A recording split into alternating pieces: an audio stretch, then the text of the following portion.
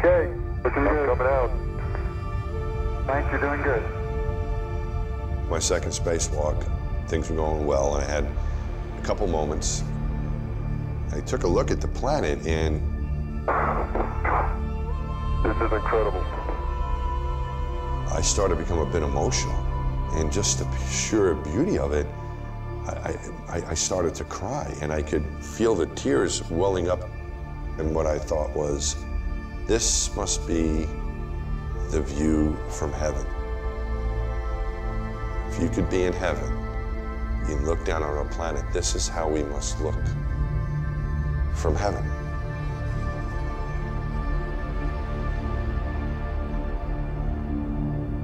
And then I thought to myself, no, it's not right. It's more beautiful than that. This is what heaven must look like.